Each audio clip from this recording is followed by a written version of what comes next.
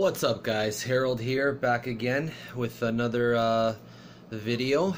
And today I'm going to show you guys a custom Argo, USS Argo. And um, this is the same Argo um, that was uh, posted on Facebook by Carla Customs. So I reached out to Carla and uh, I asked uh, Carla if you know if she was willing to sell this piece to me and uh, she was willing to do that. So now uh, I just wanted to show you guys um, you know what this looks like in hand okay? Now she is selling uh, an Argo which is actually bigger than this one. This one is 9 centimeters uh, you know in in width and uh, the one that she's selling is 12 centimeters and it's a little bit uh, it's got better detail than the one that you see before you. It's got the uh, the monarch logo on the top and everything. It's, it's quite nice but uh, I actually like this you know because it's a little bit smaller and things so um,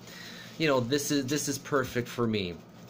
Alright, so um, there's really not much to say about this. I mean, it's a, I mean, this is this was 3D printed Alright, so this was 3D printed.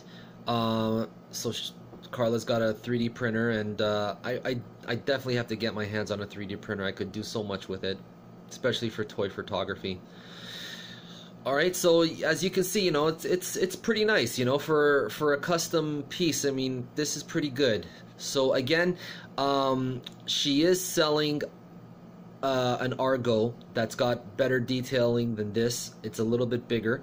And I will leave the link to that in the description section below in case you guys are interested in buying an Argo piece for yourself for either toy photography or stop motion or just display.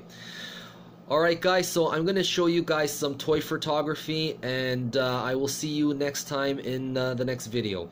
Alright guys, thank you so much for watching and take care.